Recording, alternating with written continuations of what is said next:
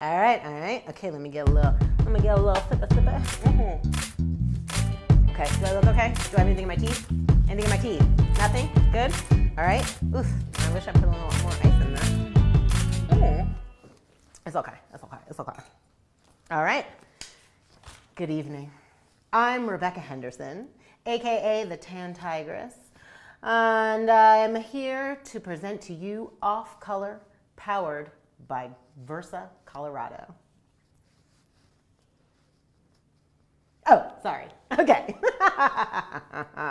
all right. So, to answer all of your questions up front about who I am and why I'm called the Tan Tigress, it's because I'm half black and half white, and I'm all opinions, strong ones, so you better look out, okay? And I'm called the Tan Tigress because I like to think of myself as like a Black Panther, but my brother in law informed me that I'm more like a Tan Tigress. So I'm rolling with that, and you all can roll, it, roll with it too. Off color was born out of the 2016 presidential election, which made me feel like racism was sanctioned by the President of the United States. That kind of changed things that I was doing. I mean, I'm a wife and a mother and a librarian and a writer. And then after that, I became a filmmaker. I've gotten really involved in my community. I don't consider myself an activist, I'm just active in my community. Uh, so now on Off Color, we like to talk about sometimes things that are a little bit uncomfortable around race and identity. And I like to bring people in who are doing the work in their communities, no matter like what that looks like. And in this case, what it looks like is a beautiful artist, a singer, a community healer, and her name is Danette Hollowell. Welcome, Danette Hollowell. Come on in, girl. Bless me. Bless me with those pipes. Pretty brown babies kissing those ladies, driving them crazy. What do they know? Ooh, that's the new Juneteenth That's the new Juneteenth song. Okay, so Danette is a singer and a songwriter, and she's my friend, fam. she's like my sister from another mister, and I like to say that because I feel such a warm, strong connection with you, and I'm so blessed to have you here this evening. So thank you for coming to chat with me. Thanks for having me. Yeah. Okay. So before we like get into all the things that we're going to talk about tonight, I so Danette and I work with each other outside of this environment. Danette helps me with my family. I help her with her family. We're together. It's a really nice situation. Um, something that I just had learned about you, I wanted to ask you though. I learned this recently, uh, it was about two weeks ago, that you are in fact not a Denver native. You are a military brat, as Yes. the kids say. Do you say that? Is that the term? Do people still That say is- that? That's the term I grew up on. I don't know if they're saying something new, but yeah, I'm a military brat. My father was in the Navy for 22 years. Wow. Mm-hmm. And so, what are some of the places that you lived? Um, well, I was born in San Diego, um, and after San Diego, we lived in Oakland for a little bit. And after Oaktown, we lived in Oahu in Hawaii. Hmm. Um, we lived in Japan, Okinawa, Japan, for a little bit. Hontone. Um, domo arigato, arigato-san. um, and yeah, that's that. That was mostly traveling through um, his military work. But after all of that, I also lived in Louisiana for a little bit. So wow. So Colorado been- was kind of my last stop. Okay. And so now, and are you happy here? Yeah, I mean the rent sucks. Well, the rent's too damn high. The rent is too high. Um, when the rent was low, it was a beautiful place full of music and art and culture and healthy living and lifestyle. And it still is all of those things, it's just much more expensive. Yeah, yeah. I, I, I hear you and I feel you on that. Um, so you've been on my show before on the Off Color podcast. Yes. What's different about this one? This one's fancy. I feel all like high rise living, you know, your little, know. setup. There's a It's because we, we are powered by Versa Colorado. Okay, Versa, Colorado. So I don't know too much about Versa, Colorado. I mean, this is like my first experience. It's a good one, but like, Yeah, well, they're a local, they're trying to kind of re- not replace, but fill the void that when local news organizations have kind of essentially left the building, um, they're trying to give platforms to people who typically would not have a platform. Mm. Somebody like me, somebody like you. They also want to cover local things that are happening in Colorado and just and not just Denver. This is this is going to feel a little Denver based because that's where I live and I'm not from here. but we really want to hear from people from all over Colorado. Nice. So that's kind of I think I don't know if that's a good wrap up. Is that a good wrap up, producers? Is that a good description of Versa and what nice. you're doing? Nice. I like it personally because I feel like you'll see stuff here that you wouldn't necessarily see other places, right? Mm-hmm. So I think that's really cool. So I'm really excited that we're, we're that Off Color is powered by Versa. All right. All right. But I did have one question to ask you about growing up in Milton because I always oh. I felt like when I met you, mm-hmm. I felt a good connection with you, and I think as a mixed race person, being half black, half white, like I sometimes I feel a little bit like out of place, or I'm looking for my community, looking for my space. And you were incredibly welcoming to me when we met. You were super mm. nice, like just you were just really kind and a lovely person. And I wanted to know if growing up in the military, if that influenced how you interact with people. Yeah, so I have like childhood friends that are like that we believe we grew up together, even though I didn't spend all of my time in those places um, in you know a couple different countries, a couple different states, um, and just moving to new places. And I love meeting new people, and it probably has something to do with the way that I grew up. But moving to new places, you got to get those people skills um, sharpened for sure, and you you adapt to the culture and. Um, Denver culture was very different than California culture. Mm. California culture was very different than Hawaiian culture, mm. different than Japanese culture, but I would say I, I definitely have friends in all of those places um, from when we were kids, and it's just yeah, I, I enjoy it, and I think that um, it's definitely helped me with my people skills yeah. in life to just make people feel comfortable and welcome wherever they're coming from. Well, I want to stop and thank you, baby, for doing that for me as I try to like navigate Denver and the social scene. So I really enjoy that. So I want to give it up for Danette Hollowell! All right. So we do have kind of some some some stuff to get into tonight. So right. We are going to be covering. I have a lot of topics, girl. We're going to get into it. I talked a little bit about the history of off color, which was brought to us by Dr. Gregory Diggs. Google that later. Okay. We have a few things that we are going to talk about. Number one, we're going to talk about. We might spend the whole time talking about this. We're going to talk oh. about some con conspiracy theories. Okay. Okay. Right. So a lot of stuff has been going on um, right now in the country, and a few things. So first, I want to I'm going to go national, and then I'm going to go a little bit local, if that's okay. Is that okay? So the first thing I wanted to talk about, it's not a conspiracy theory necessarily, but there have been three churches in a Louisiana parish that were were burned. I don't know if people have heard about that.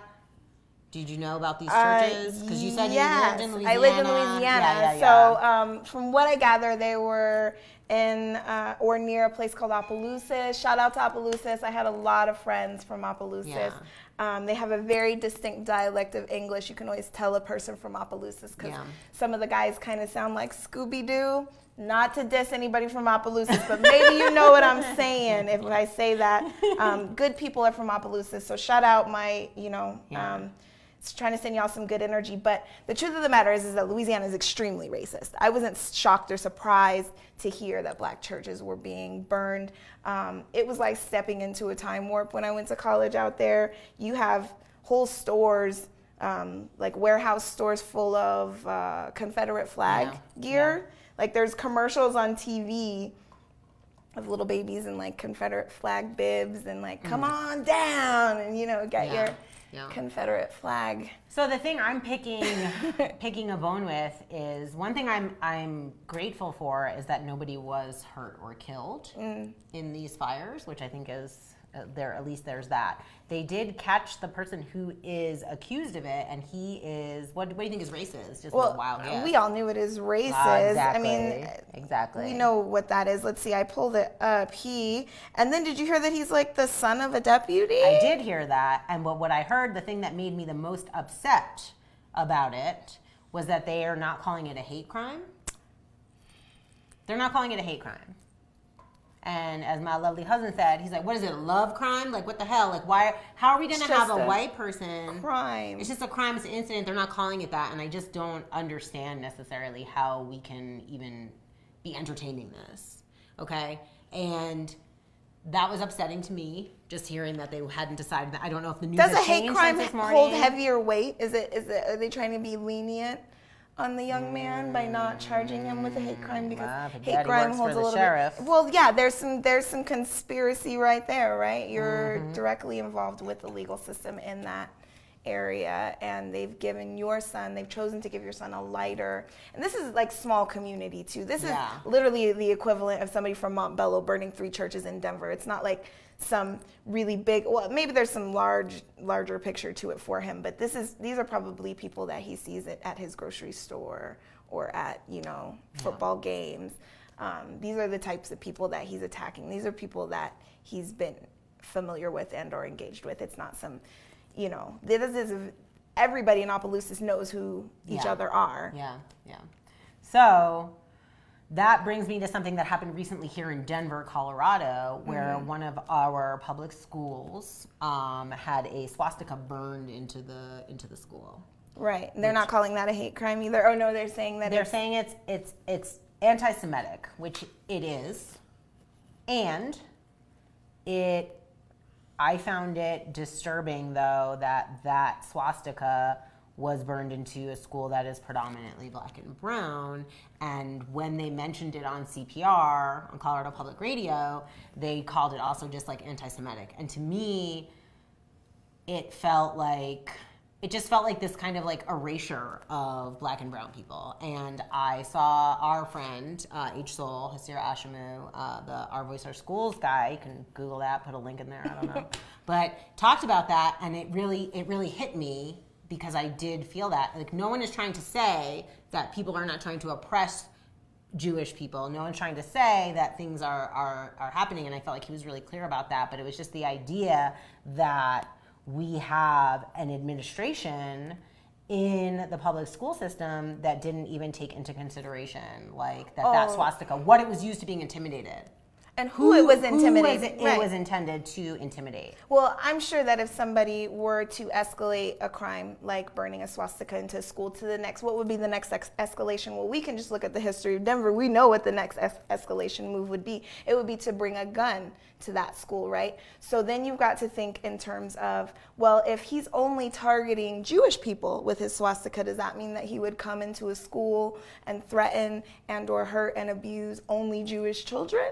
At a school that's mostly children of color, black and brown children. Mm-hmm. So mm-hmm. I, I think that the calling it anti-Semitic was a glazing over. It was it was like a a whitewashing mm-hmm. of a mm-hmm. crime that was a, a, direct threat to much more people than the Jewish yeah. community, including them as well. Inclu- right? including them. But a swastika on a school for black and brown children is not a direct threat to Jewish, the Jewish community. It's a, it's a, it's a direct threat to all of those children in that school. Right. Yeah. So it was just something that I wanted people to to think about, and I know we're we're pretty much like in agreement on that. I wasn't sure if anyone has comment. Are there any comments? Anybody checking that? I'm a little uncomfortable with the yeah. back and forth that I have seen between the anti, you know, the Jewish community and or communities of color, and sort of what you said earlier, the hierarchy of pain or who's being targeted by what and in what ways.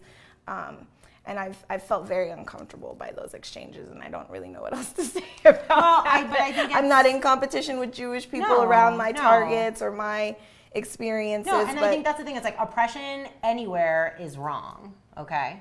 And that's it. Like, that's the end of it, right? Mm-hmm. Is that it's wrong anywhere, it's but we just want people to kind of think about that just a little bit. Like, right. who's teaching your children and what are they thinking about, okay?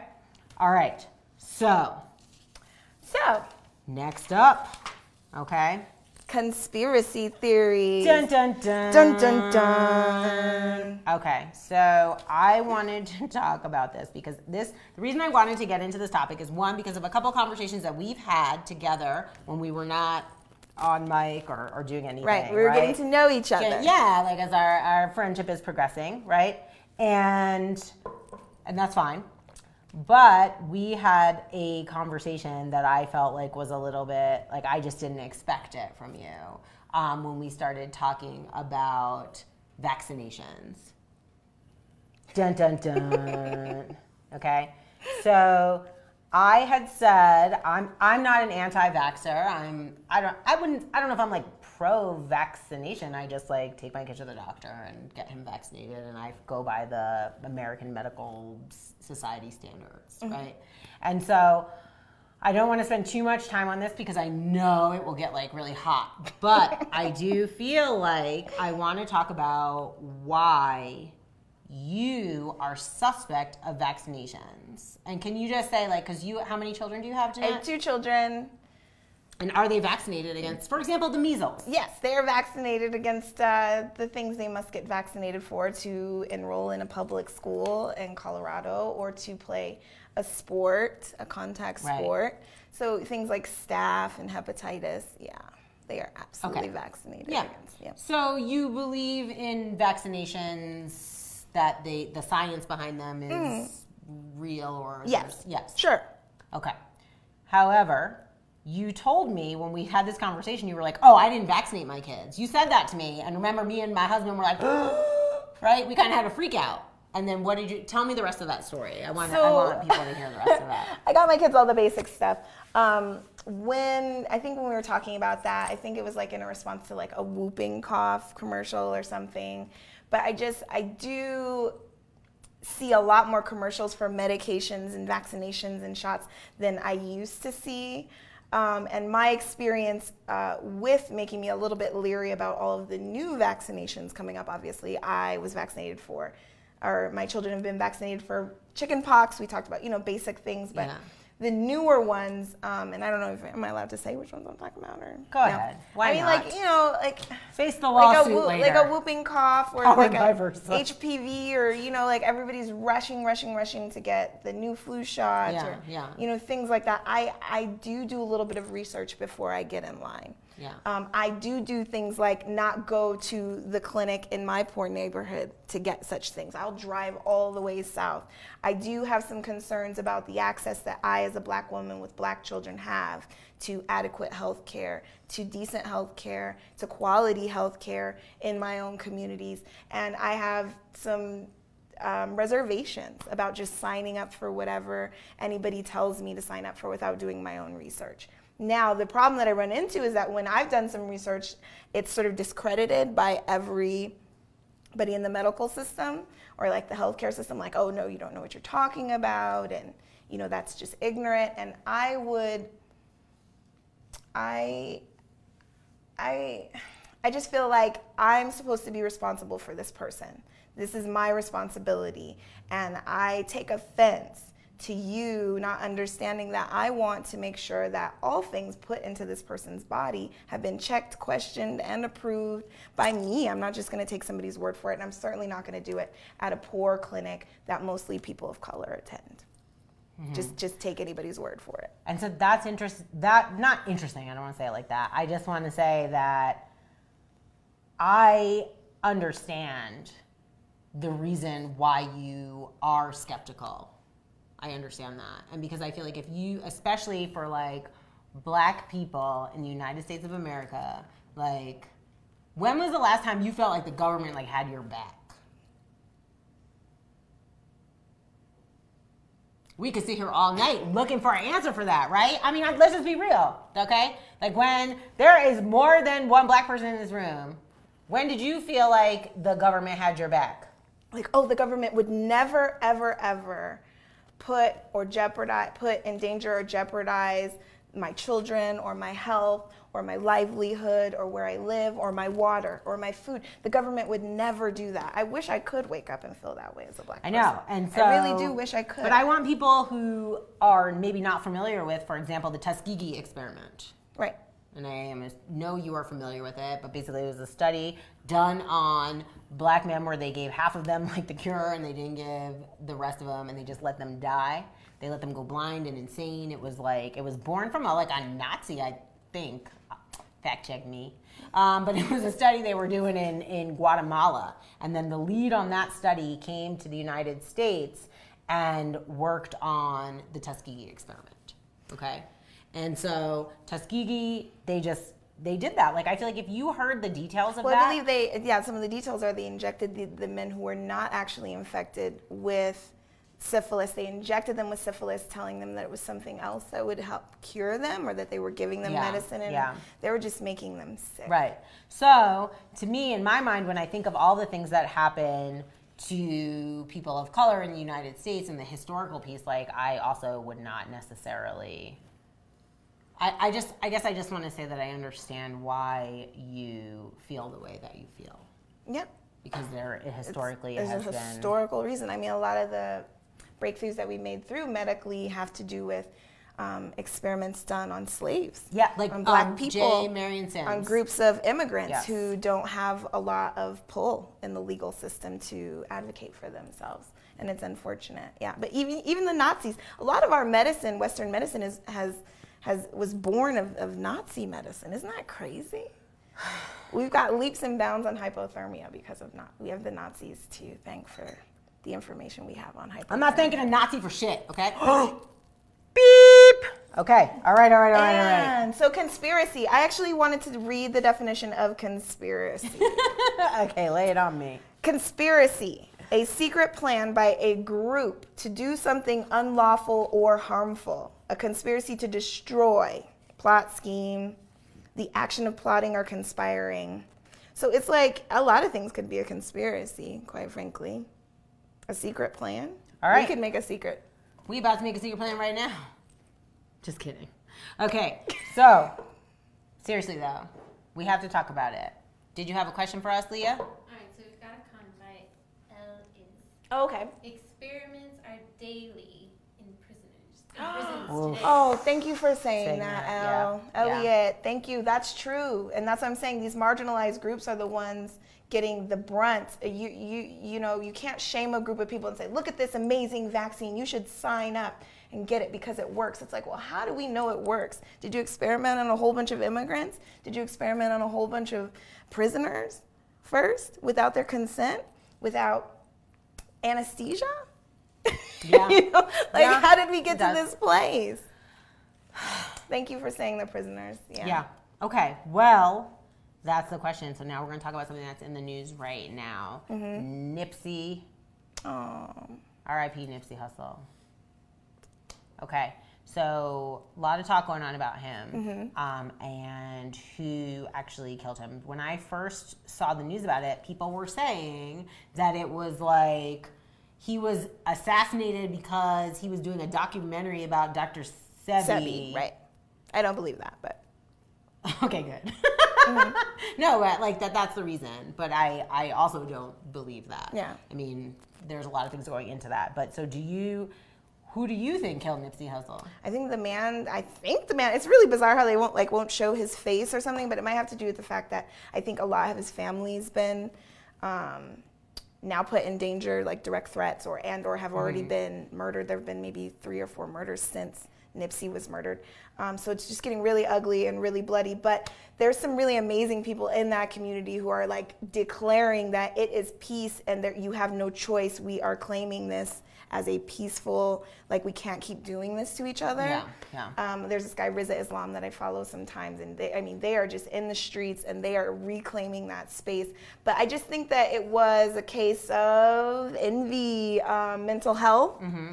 Um, however, the conspiracy theorist in me who's seen the Manchurian Car- Candidate, that Mm-hmm. movie with Denzel, remember that? Yeah. he had the chip. okay.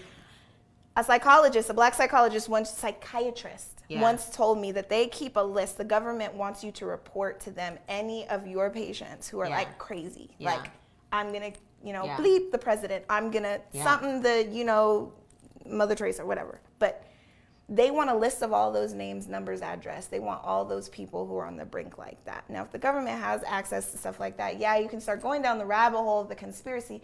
But I don't think it would be too difficult to manipulate a person with mental health into doing something that you mm. wanted them to do if you wanted to get rid of somebody or wanted somebody's legacy to die. I just, I don't, you know, for all we know, they could have called him with the trigger word like on Manchurian Candidate. They just Lord. called her and said apple, and he just got his gun and went down there to Nipsey's No. shop. No. You, you don't know. You know I what I mean, we- okay, so look how know. how impactful he was in that community. I mean, they shut the streets Yeah, down. I know, I know. But something I, I heard um, on This American Life NPR show, and it was an interview with all of these activists from Ferguson, because I know you've heard several of the activists from Ferguson Are missing. are Mhm. missing or Dead. dead. And the my mind when I saw that, I was like, they were killed, right? Intentionally. I think that the government did it, whatever, right? Right? So that's what I'm thinking. However, when I was listening to this piece, they interviewed one of the activists, and he said, Yeah, if I walked out of here today and I got shot, everyone would be like, Oh my gosh, another Ferguson activist, right?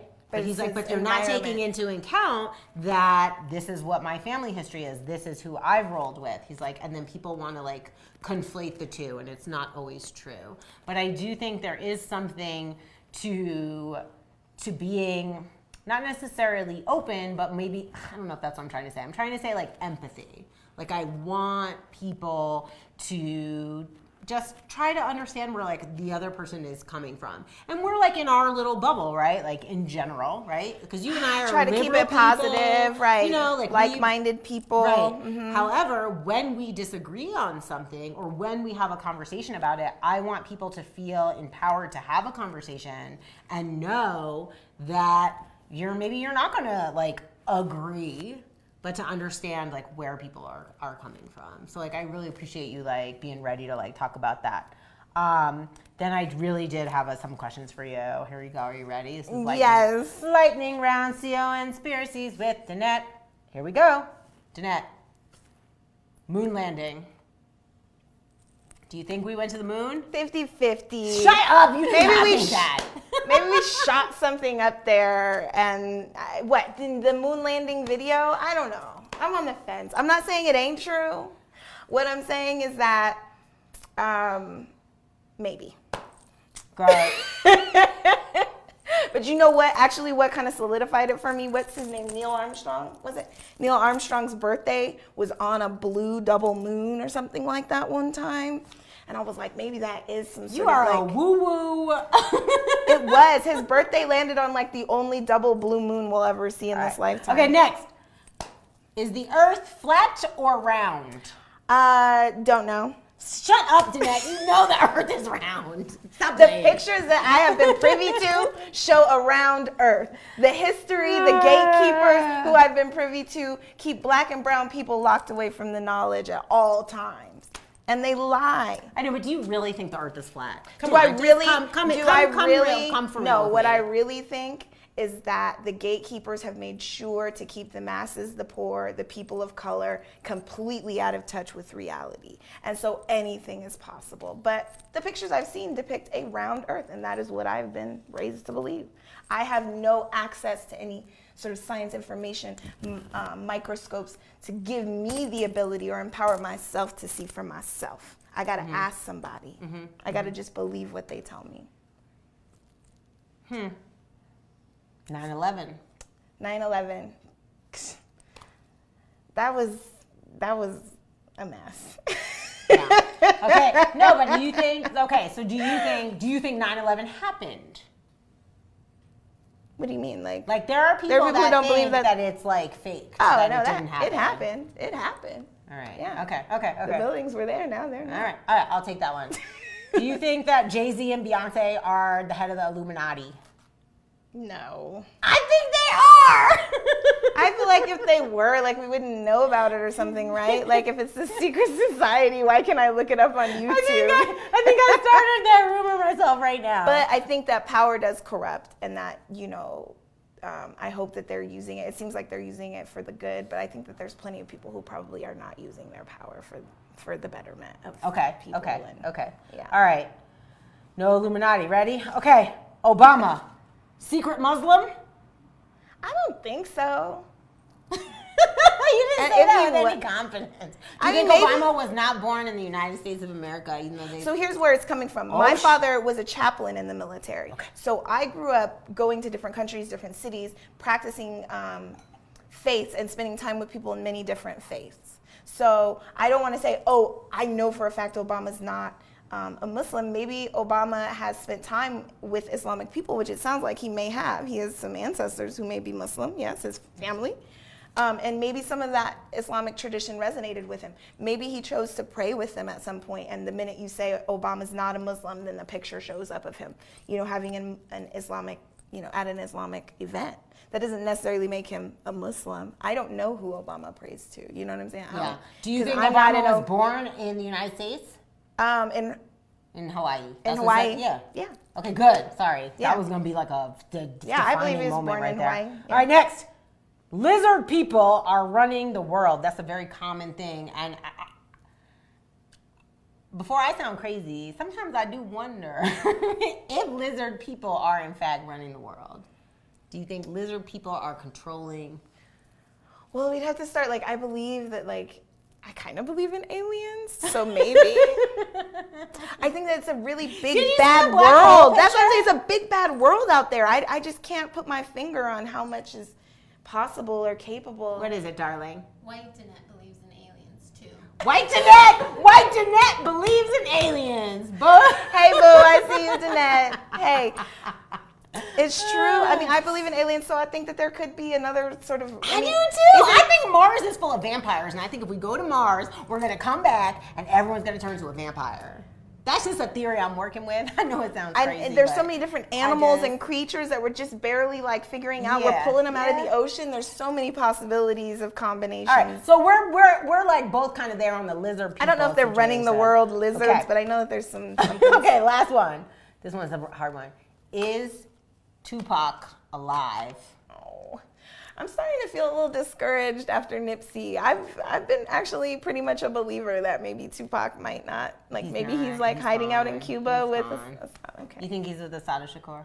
maybe. Let's all just hold on to that dream. You know, I'm a Cali kid at heart, know, so, when he died, we were be. like crying. It could be. It could be. We love Pac. Okay. Well, I, I want to wrap it up with this this idea of conspiracy theories, okay? And just to kind of let people know who who may be watching um, that I want you to think about fear and how that impacts our thought processes and the things that we're we're kind of thinking about, you know. Um, so that that's like important to me that people just just I just want to leave people with something like to think about. The other thing before we wrap it up, producer, because I'm a producer now. It's really funny, and she's like, wrap it up, and I'm like, no. Um, I just want. I'm wrapping it up. I promise. I wanna. I do wanna. Well, first, I just want to check in about a couple of local things because some people know, as you know, I am making a documentary about women of color who are running for local office. Oh, it's And gonna be so good. It's gonna be so good. It's, It's called. good. It's called Running with My Girls.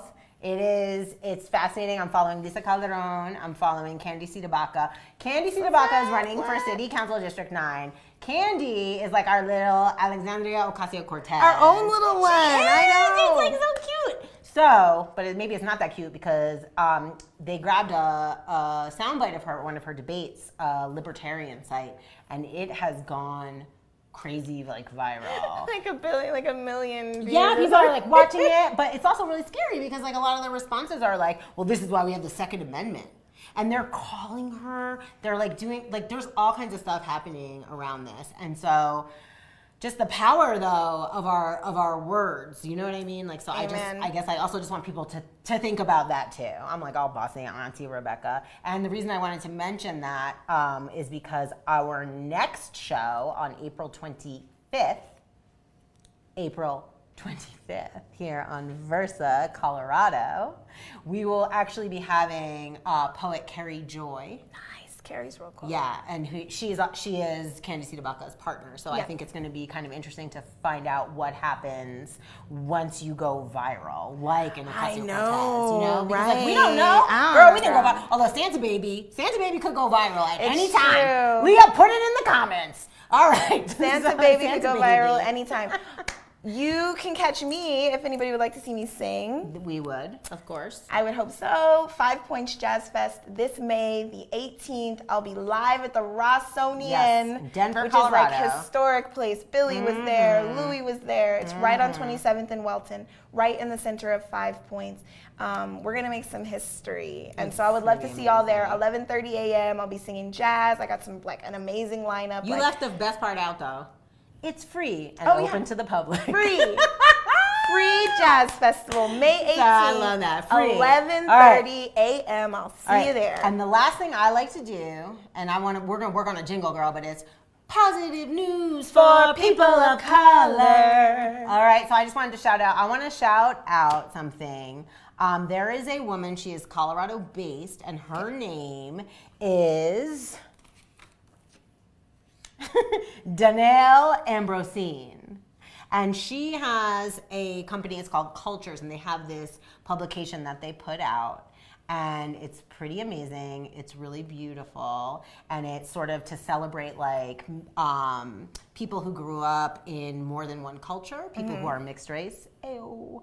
Um, and just kind of kind of checking in with that. They are in thousands of bookstores across North America and it, they ain't cheap, girl. It's not cheap. But I would like to I'd like to present you with a beautiful copy of Cultures. There's no E because it's about hidden diversity. Because I know your grandmama white. Okay, now, but it's a really good, it's a really beautiful magazine. And the reason I got you this is because this is the military brat issue. Okay. Okay, and it's available at various stores. And here in Denver, it's at in um, where is it? It's at TeaLee's. Uh, oh, I love tea leaves. yeah. So that's what's going on. So she's she's a black woman. She has this amazing company. She's doing great. So I just want to shout you out, Donnie. Thank oh, you look, for and making it's like this. like love in there. it's like really beautiful. it's a really beautiful publication. Yeah, this I'm is really good excited. stuff, guys. And she's from Colorado, so it's great. support All right. local stuff. for Support sure. support local stuff all day, every day. Support Versa, Colorado. Versa, I'm like messing it up, you guys. I This don't is even so know what I'm doing. Thank you All so much. Thank you so much, and we'll catch you May 18th at 11:30 a.m. at the Rossonian here in Denver at the Five Points Jazz Festival. We'll see the rest of you April 25th at 8 p.m. And you can, if you missed it, just you just watch it again. I'll put it on YouTube or something. Tick-a-ta, tick-a-ta, tick-a-ta. Sing it for me, girl. Who am I? Who am I? Who am I?